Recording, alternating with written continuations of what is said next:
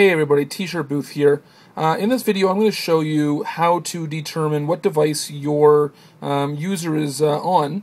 And uh, the reason why you might want to do this sometimes is you'll have some special effects that look really good and work really well in like an iPhone 4 or iPhone 3rd gen, uh, and not so well on the other devices. Um, so you, this is a way for you to figure out what they're on. You can turn those effects on or off. So this is an iPod Touch uh, second generation. And what I'm going to do is when I touch this, it's going to spawn as many squares as it can in two seconds and then keep count of them. Press it here. So 58, it can spawn 58 squares in two seconds. Um, so you'll have this running in the background of your opening splash screen, um, so nobody will see it. But that that count is game.count, and it will it'll keep track of that. Um, and so later on, you can say if you know if game.count is under 65, you know, don't use these effects. And if it's greater than 65, use these effects.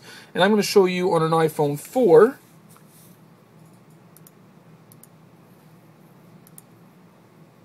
Let's load it up here. So this is an iPhone 4, do the same thing. 76. So it's much higher. Um, so now I, I can say if game.count is you know greater than 65, use these effects. Uh, otherwise, do not. Um, so it's a good way to figure out what they're what they're using um, and adjust your your your effects uh, to their performance. Um, so that way you don't have to limit your game to uh, only higher end devices.